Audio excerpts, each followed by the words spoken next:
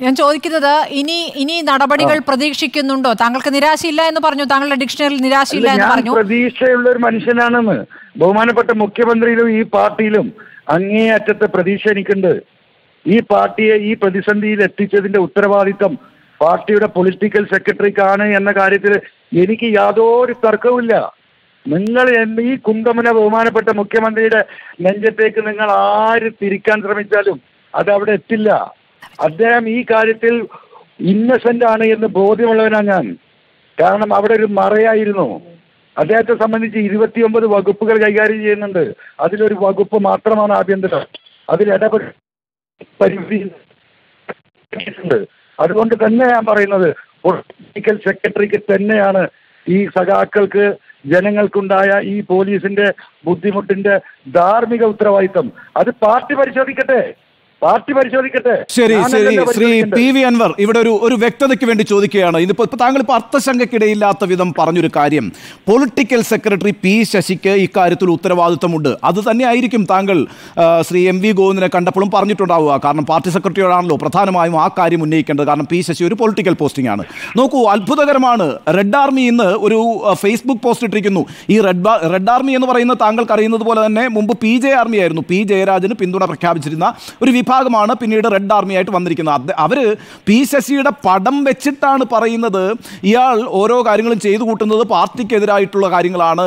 S F ഐക്കാർക്കും D Y F party പ്രവർത്തകർക്കും ഒക്കെ നിരന്തരം പോലീസിൽ നിന്ന് മർദ്ദനമടക്കം ഏൽക്കേണ്ടി വരുന്നു. ആ അർത്ഥത്തിൽ ചോദ്യം ഇതാണ്. പി ഈ റെഡ് ആർമി പോലുള്ള സംഘടനകൾ താങ്കളെ പിന്തുണച്ച് പി വി അൻവറിനെ വിപ്ലവ നക്ഷത്രം എന്നാണ് അവർ വിശേഷിപ്പിച്ചിരിക്കുന്നത്. അപ്പോൾ ആ അർത്ഥത്തിൽ പാർട്ടിയിലെ ഒരു വിഭാഗം പി ശശിക്കെതിരായി തിരിഞ്ഞിരിക്കുന്നു. അതിന്റെ ഒരു ടൂളായിട്ട് പി വി അൻവർ മാറുന്നു എന്നൊരു ആരോപണം കൂടിയുണ്ട്. എന്താണ് അങ്ങയുടെ മറുപടി? ഞാൻ ഈ പാർട്ടിയുടെ പാർട്ടിയുടെ ടൂളാണ് ഞാൻ. പി വി അൻവറിന് ഒന്നും വേണ്ട ഈ സഖാക്കൾ ഈ പാർട്ടിയിലേക്ക് സജീവമായി തിരിച്ചു വരണം. വിട്ടുപോയ അനുഭാവി വൃന്ദം ഇതിലേക്ക് തിരിച്ചു വരണം. ഈ പാർട്ടിയുടെ യശസ് ഉയർത്തണം. ഈ പാർട്ടിക്ക് നഷ്ടപ്പെട്ട അന്തസ്സ് തിരിച്ചു പിടിക്കണം. അതിനുള്ള പ്രവർത്തനങ്ങളിലാണ് സഖാക്കൾ വേണ്ടത്. എനിക്കിതിലൊരു കാലിച്ചായ പോലും വേണ്ട. ഈ പണി കഴിഞ്ഞാൽ എന്റെ പണി തീർന്നു. ഒന്നാമത് ശ്രീ പി വി അൻവർ. താങ്കൾ ഈ പാർട്ടിയുടെ പ്രാഥമിക അംഗം പോലും അല്ല ഈ പാർട്ടിയുടെ സ്വതന്ത്രനായ എം എൽ എ അങ്ങനെ ഒരു ഉത്തരവാദിത്വമൊന്നും താങ്കൾ ഏറ്റെടുക്കേണ്ടതില്ല. ഈ പാർട്ടിയെ. നവീകരിക്കേണ്ട ഉത്തരവാദിത്വമൊന്നും പി വി അൻവറിനില്ല. അപ്പൊ പി വി അൻവർ ഇപ്പോൾ വന്ന് ഈ പറയുന്ന പി ശശിക്കെതിരെ സംസാരിക്കുമ്പോൾ താങ്കൾ പറയുന്നു താങ്കളുടെ ഉത്തരവാദിത്തമാണ് ഈ പാർട്ടിയെ ശുദ്ധീകരിക്കുക എന്നുള്ളത്. അങ്ങനെ ഉത്തരവാദിത്വം ഒന്നും അംഗം പോലുമല്ലാത്ത താങ്കൾക്കില്ല. അപ്പോൾ താങ്കൾ അതിനെ നിയോഗിക്കപ്പെട്ടിരിക്കുന്നു എന്നൊരു ആരോപണം ഉണ്ടായാൽ അതിനുള്ള താങ്കളുടെ മറുപടിയാണ് ഞാൻ ചോദിക്കുന്നത്.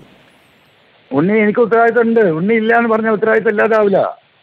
പതിനായിരക്കണക്കിന് സഖാക്കളുടെ കഠിനാധ്വാനമാണ് എന്നെ നിയമസഭയിൽ എത്തിച്ചത് ഇന്നും അവർ എന്റെ കൂടെയാണ്. ഇന്നും ഞാൻ അവർക്ക് വേണ്ടി ജീവിക്കുന്നു അവർ എനിക്ക് വേണ്ടി ജീവിക്കുന്നു. ഈ നാട്ടിലെ ഒരുപാട് നിലമ്പൂരിൽ മാത്രമല്ല മലപ്പുറത്തും കേരളത്തിലും ഒക്കെ ഒരുപാട് സഖാക്കൾ എന്നെയുമായി ബന്ധപ്പെടുന്നുണ്ട്. നിങ്ങൾക്ക് കേരളത്തിലെ എന്റെ നിയമസഭ എം എൽ എ ഹോസ്റ്റൽ നിങ്ങൾക്ക് വന്നാൽ അറിയാം.